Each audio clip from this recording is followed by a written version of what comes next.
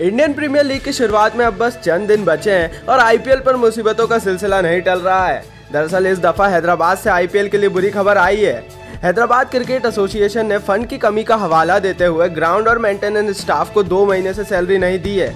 इसी के चलते ग्राउंड स्टाफ हड़ताल पर चले गए हैं, जिनमें ग्राउंड्समैन के अलावा 120 कर्मचारी शामिल हैं। दरअसल रिपोर्ट्स की माने तो अगर ये मामला जल्दी नहीं सुलझता है और हैदराबाद क्रिकेट एसोसिएशन एक हफ़्ते के अंदर अपने कर्मचारियों को सैलरी नहीं देते हैं तो एससी स्टेडियम में होने वाले सनराइजर्स हैदराबाद के सारे होम मैचेस के अलावा फाइनल को भी रायपुर के एसवीएनएस क्रिकेट स्टेडियम में शिफ्ट किया जा सकता है। हैदराबाद के Rajiv Gandhi international cricket stadium में 5 अप्रैल 2017 को आईपीएल के ओपनिंग मैच के साथ साथ 21 मई 2017 को आईपीएल का फाइनल भी शेड्यूल्ड है, जिस पर अब खतरे के बादल मंडराने लगे हैं।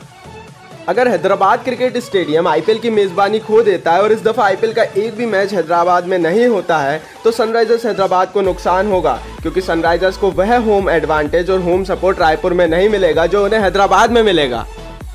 इससे पहले भी आईपीएल 2010 में तेलंगाना मूवमेंट्स के चलते हैदराबाद से आईपीएल मैचेस को नागपुर और मुंबई में शिफ्ट किया गया था, और उस समय भी हैदराबाद की परफॉर्मेंस पर काफ़ी फ़र्क पड़ा था।